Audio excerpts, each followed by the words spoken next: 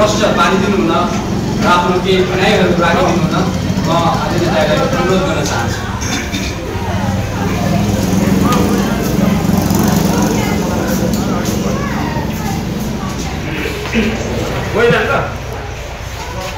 कुरा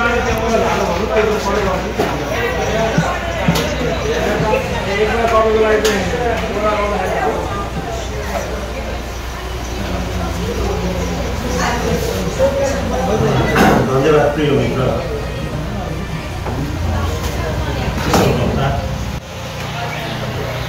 समाजसेवी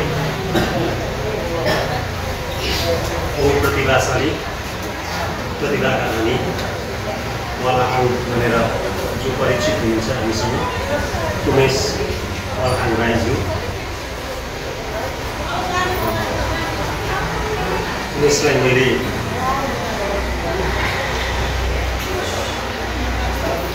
यो कार्यक्रम सञ्चालनको निम्ति हामी हिजो सँगै रहँदा पनि भनेको थिइनँ केही समय अगाडि मात्र भनेर पनि मेरो आग्रहलाई स्वीकार दिनुभएमा उमेशजीलाई धेरै धन्यवाद चाहन्छु उहाँको कुशल वक्ता उहाँको कुशल प्रस्तुतिको मात्रै पनि फ्यान भएकोले उहाँलाई मैले आग्रह गरेको थिएँ लागि धन्यवाद दिन चाहन्छु यस वडाका वडा अध्यक्षज्यू आदरणीय परिणाम श्रेष्ठ युवाहरूका प्रेरणा हाम्रा हाम्रो साथ अभियानका संयोजक तथा युवा समाजसेवी शिवरुण्डली राई धेरैलाई थाहा नहुनसक्छ मेरो गुरु हुनुहुन्छ उहाँ मलाई पनि पढाउनु भएको जनसहयोग क्याम्पस प्रमुख आदरणीय श्री द्रोण रूपानी लगायत पत्रकार साथी हाम्रो भक्तदाई सम्पूर्ण साथीहरू अत्यन्तै कम समयमा यहाँलाई निम्तो दिए स्वीकार दिनुभएर आइदिनु यसको लागि हाम्रो साथ अभियानको तर्फबाट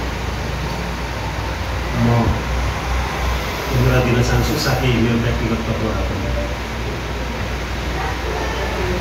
यो हाम्रो साथ के हो कस्तो हो भनेर अलिकति जिज्ञासा लाग्न सक्छ हाम्रो साथ चाहिँ कल्पनामा डुबेर कल्पिएको नाम होइन लकडाउन हुँदाखेरि अब निषेधाज्ञा हुन्छ तर लकडाउन जेनरल भाषामा बुझ्छौँ त्यो हुँदाखेरि पानी पनि खाने अवस्था थिएन तर चोकमा हामी त्यहाँको बासिन्दा भएर हामीलाई थियो तर त्यो सुविधा चाहिँ तर बाहिरका वा पहुँच नभएकाका लागि त्यो सुविधा थिएन।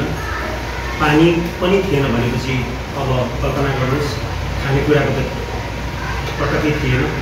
त्यस्तो अवस्थामा यस वडाका वडाध्यक्ष जो हाम्रा वडा प्रमुख वडा पिता हाम्रा आदरणीय दाई मणिराम श्रेष्ठज्यूलाई मैले मौखिक रूपमा दाइ म यस्तो गर्न गइरहेको छु के गर्नु म सक्छु सक्दिनँ भन्दाखेरि राम्रो कामको लागि मेरो तर्फबाट वडाको तर्फबाट सधैँ युवाहरूलाई वडावासीलाई साथ हुन्छ तिमीहरू गर केही पऱ्यो भने मलाई पनि सम्झिनु म पनि गर्छु भने सुरुमै उहाँले सहयोग गर्छु भन्नुभयो दाइ हामी हामी आफै उठाउँदैछौँ हामी गर्दैछौँ भनेपछि उहाँले हामीलाई अनुमति प्रदान दिनुभयो सँगै मैले तर प्रयोग चौकीलाई पनि मैले जानकारी गराएँ। त्यसपछि मैले डिएसपी साहबलाई पनि फोन गरेँ। किनभने यो जिल्लाबाट आएको थियो। अनि जिल्लामा पनि मैले म र हेरी हेरी भाइ हुनुपर्छ मसँग सिडिओ साहब सहायक सिडिओ साहबलाई मैले भेटेर जानकारी अनुमति पाइसकेपछि अनि मैले इटली उपमहानगरपालिकाको उपमेयरलाई पनि जानकारी गराइसकेपछि यो नाम चाहिँ नराख्नु बाँड्नु चाहिँ बाँड्नु भनेपछि हामीले चाउचाउ चिउरा त्यसपछि त्यो शक्ति प्रदान गर्ने दबाई पनि हुँदो रहेछ त्यो पनि बाँड्यौँ पानी अनि बिस्कुट लगायत कतिपय ठाउँमा मैले खाना पनि खुवाएँ तर यो चाहिँ आनन्दित महसुस भयो। हामी सबैलाई हाम्रो साथ हाम्रो सम्पूर्ण हाँसको सिधैलाई। तर कतिपयले चाहिँ चौचौ बाँड्यो भनेर कुरा चर्चाहरू गर्न थालेछौँ। त्यसपछि हामीले एउटा स्लोगन निकाल्यौँ चौचौ होइन प्रेम भनेर। वास्तवमै हामीले प्रेम बाँडेका थियौँ। हामीले हामीले भन्दा नवीन गुरुङले होइन हाँसपोसाले बाँडेको थियो। वडा नम्बर बिसले बाँडेको थियो। यसर्थ तपाईँले पनि बाँड्नु भएको थियो। त्यस क्रममा चाहिँ यो हाम्रो साथ भन्ने अभियान सुरु भयो। त्यसपछि हामीलाई हङकङबाट मैले कल्पना गरेको पनि थिइनँ र आशा गरेको पनि थिइनँ। अ, सोल्टी दिदी र मेरो फ्यान हुनुहुँदो रहेछ सोनु चामलिङ दिदी धरानको दिदी नाना। उहाँ चाहिँ हङकङमा हुनुहुन्छ गीत रचनाकार हुनुहुन्छ समाजसेवी हुनुहुन्छ। उहाँले हामीलाई दस हजार पठाइदिनु भयो त्यो चाहिँ अप्रत्याशित थियो अनएक्सपेक्टेड त्यसपछि वसन्त गुरुङ युवा समाजसेवी पूर्व खेलाडी। मेरो सोल्टी पनि हो। परिवारभित्रको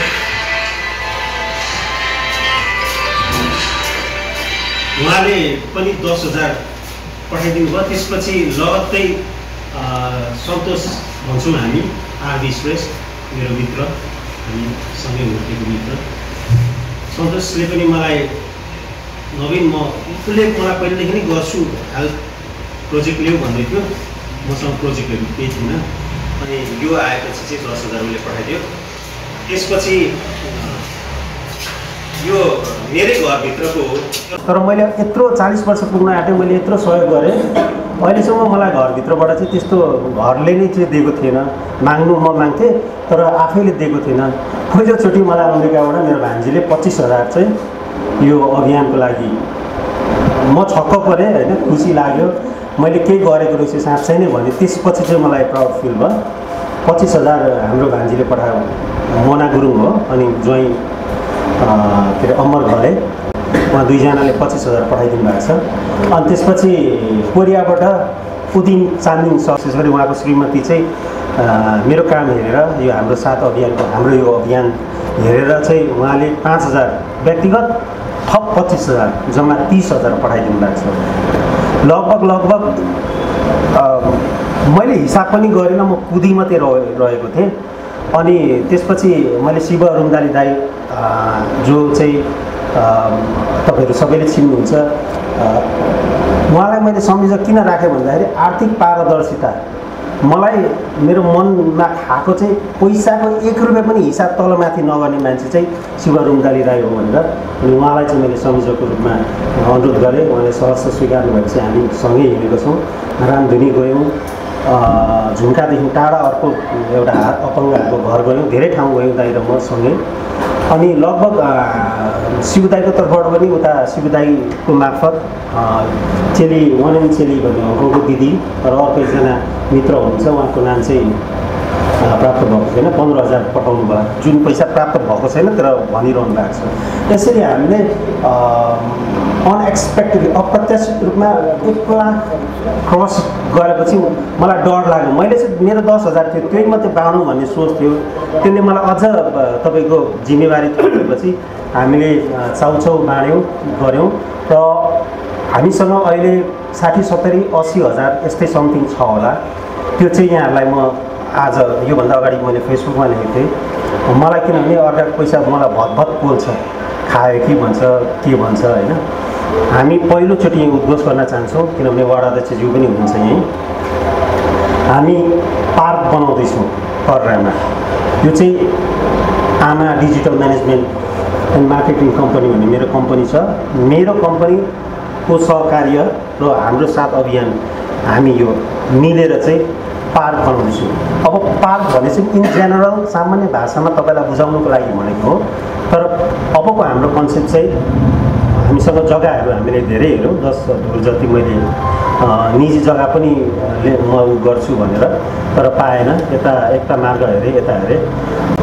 पार्कको नाम चाहिँ पार्क रहे तापनि हामी हाम्रो कन्सेप्ट चाहिँ के हो भने हाम्रो एउटा कोठा हुन्छ। मैले तिन हजारको कोठा पनि भेटिसकेको छु। कुरा मिल्यो भने हामी सम्भवतः चाँडै सुरु गर्छौँ। त्यो कोठामा चाहिँ बिहान बेलुका वा एनी टाइम तर हाम्रो कार्ड हुन्छ। कार्ड होल्डरलाई चिया बिस्कुटको व्यवस्था गर्छौँ। र मासिक वा तिन तिन तिन महिनामा वा यो अकेजनल्ली भनौँ हामी स्वास्थ्य उपचार चेक जाँच डक्टर साथीहरू हुनुहुन्छ हाम्रो सम्पर्कमा। त्यसपछि खेलकुदका गुरुहरू हुनुहुन्छ र आमा पार्क भनेर आमाहरूलाई मात्रै होइन फेरि भाइ बहिनी बच्चाहरूलाई पनि हामीले मोटिभेसनल क्लासेस उनीहरूको प्रतिभा प्रस्फुटन गर्ने क्लासेसहरू गर्ने हाम्रो यो छ योजना छ। यो कुरामा चाहिँ मैले के अरे हाम्रो मुक्ति सरलाई पनि मैले भनिसकेको थिएँ यो कुरा होइन। यो चाहिँ यति बेला चाहिँ मैले बौद्धिक वर्गलाई मात्रै जानकारी गराइरहेको छु। हामी पहिलोचोटि हाँसपोसा साबिकको हाँसपोसा हालको इटरी वडा नम्बर बिसको इतिहासमा। For the first time in the history of इटरी twenty हामी चाहिँ एउटा सिटी प्रोफाइल निकाल्दैछौँ। जुनको कस्ट्युम मलाई लाग्छ तिन लाखदेखि सात लाख लाग्छ। यसमा आज मात्रै सायद हाम्रो व- वडा अध्यक्षज्यूले थाहा पाउनुभयो। म उहाँलाई प्रपोजल प्रस्ताव पेस गर्न नै लागिरहेको छु हामी सबैले। यो चाहिँ फेरि निजी स्तरबाट हुन्छ। त्यसको प्रफिट चाहिँ हामी यो जुन सोसियल वर्क छ त्यसमा हामी गर्छौँ। सँगसँगै महिनाको पन्ध्र सय चाहिँ म यही संस्था मार्फत हाम्रो अभियान हाम्रो साथ मार्फत एकजना चौधरी बोजू हुनुहुन्छ अपङ्ग हुनुहुन्छ। हामीले एक वर्षको लागि पन्ध्र सय दिँदैछौँ उहाँलाई। अहिले पनि उहाँले पाउनुहुन्छ पेन्सन पाए जस्तो। यो कुरा फेरि हामी बढाउँछौँ। आज एक वर्ष चौधरी हुनुभयो अर्को वर्ष अर्को अब आर्थिक अवस्था। त्यो फेरि आर्थिक अवस्था भन्नाले जात समुदाय धर्मलाई हेर्दैनौँ हामी। केही गर्नु खोज्ने तर असक्त उहाँहरूलाई यसरी हामीले दाजु दिँदै गर्छौँ गर्दैछौँ। यो बिचमा लगभग हामीले तिन लाख जति बाँडेछौँ। त्यो मेरो पैसा मेरो केही पनि होइन। त्यो सब विदेशबाट हामीलाई सहयोग आएर त्यो हामीले बाँडेका हौँ र यहाँलाई एकदम स्पष्ट क्लियर गर्न चाहन्छु। योचोटि हामीलाई आएको दस हजार हो। पाँच पाँच हजार दुईजनालाई बाँड्नु भनेर। मात्र दस हजार आउँछ त्यही दस हजार हामीले जस्ताको त्यस्तै पाँच पाँच हजार दिनुपर्छ। तर साथीहरू के भन्नुहुन्छ भने अब यो चाहिँ जलन भएका मनहरूले भन्ने होला सायद। आजको जति पनि यो खर्चहरू छ सब यो मेरो अफिसले कम्पनीले अनि यो सिटिङ पोजिसनहरू उहाँ हाम्रो विशालजी हुनुहुन्छ। फर्निचर वेद फर्निचरको भूमिका उहाँले स्पोन्सर गर्नुभएको यो खर्चहरू चाहिँ व्यक्तिगत हुन्छ तर बाहिरतिर चाहिँ अब यति यति आउँदो रहेछ यति खायो। एकजना साथीले हङकङबाट पुरा आउँछ होला भन्नुभयो धनपुरीका साथीले। म मुसुक्क हाँसेँ मात्र मैले केही पनि रियाक्सन दिइनँ। त्यसपछि उहाँले गल्ती महसुस गर्नुभयो होला। पछि फेसबुकमा अल द बेस्ट दाई भनेर लेख्नु भएको थियो। हामी हामीसँग एक पैसा खाँदैनौँ। के चाहिँ हुँदो रहेछ भने पैसा चाहिँ होल्ड हुँदो रहेछ। पठाउनुहुन्छ यो यो तपाईँको हप्ता दिन भयो नि भाइ। सुन्दरमणि राई राईलाई उहाँलाई मैले अस्ति नै प्लिज लगन उहाँ उहाँहरूलाई उहाँको उहाँको अभियान यो अभियान दिनेश राई बचाउ अभियानको संयोजक उहाँ हुनुहुन्छ। उहाँलाई मैले अस्ति नै आउनुसार दिनु खोजेको। उहाँले होल्ड गराउनु भएर अझ पनि होल्ड गराउँदै हुनुहुन्थ्यो भोलि चार गते छ होइन प्रोग्राम उहाँहरूको। मैले आज होइन म दिन्छु। मलाई पटपट मन खान्छ। भनेर यो पैसा हामीले बाँड्न आँटेको त्यसरी हामीले समाजमा समृद्ध बनाउनका निम्ति समाजभित्रका जो चाहिँ सक्दैनन् तिनका निम्ति केही गरौँ भनेर यो प्रयास गरेका हौँ। यसमा हटेको मात्रै नवीन गुरुङ शिव रुङ्गाली राई उमेश वालाङ हाम्रो पनि एउटा टिम छ। हामी हामी हो। म फोनमा बेला बेला मुक्ति सरसँग सल्लाह माग्छु। त्यो पनि खटाइ नै हो। उहाँले जो सल्लाह दिनुहुन्छ दस हजारभन्दा मलाई त्यो सल्लाह मोर एक्सपेन्सिभ लाग्छ मलाई त्यो बहुत मूल्यवान लाग्छ प्रकाश राई हुनुहुन्छ हाम्रो सर हुनुहुन्छ प्रकाश राईलाई प्रकाश राईले मलाई फोन गर्नुभयो सर चामल दिन चाहन्छु म दस पन्ध्र हजारको उहाँले मलाई स्पोन्सर गर्छु भन्दै हुनुहुन्थ्यो नो सर म तपाईँसँग दिमाग लिन चाहन्छु भने बौद्धिक स्तरबाट हामीले बौद्धिकता लिने हो त्यसको इन्टलेक्चुअली इन्टलेक्चुअल प्राइस चाहिँ कति हुन्छ भन्ने धेरैलाई थाहा हुँदैन होइन? जस्तै द्रोणा सरलाई म बेला बेला फोन गर्छु। सर के गरौँ। जनसहयोगको बहिनीहरूले उत्कृष्ट नतिजा ल्याउनु भयो।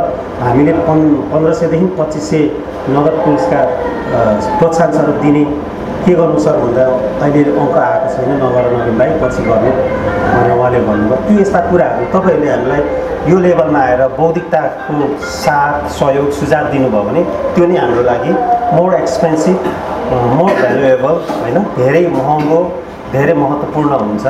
लामो समय लिए म विशेष गरी हाम्रो उदासजीको म तपाईँसँग क्षमा चाहन्छु हामीले पाँच बजे बोलायौँ।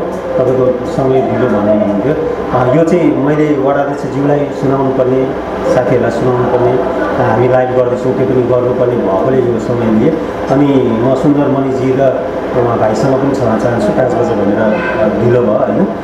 हाम्रो कता हुनुहुन्छ उहाँ बिरामी? सम्पूर्णलाई मैले जानकारी गराएँ। लामो बोले समय लिए यसको लागि माफी चाहन्छु। यहाँहरू आइदिनु भयो यहाँलाई धेरै धेरै धन्यवाद। समय पुऱ्याए। त्यसको लागि पुनः हाम्रो साथ अभियान र म व्यक्तिगत तौरबाट माफी माग्छु। अ, र यो पछि लास्टमा हाम्रो एउटा कफी वा म के खाने त्यो छ त्यो चाहिँ लिइदिए लिइदिएर जानु होला। यहाँहरू सबैलाई म स्वागत गर्न चाहन्छु। सक्नुभयो भने तपाईँहरूले पनि जे जति हुन्छ आफ्नो स्तरबाट सहयोग गरिदिनु होला। त्यसको लागि क्यासै सहयोग गर्नुपर्छ भन्ने छैन। दिमाग हुनेले दिमाग सहयोग गरिदिनु होला। होइन? अरू अन्य किसिमका सहयोगहरू गरिदिनु होला।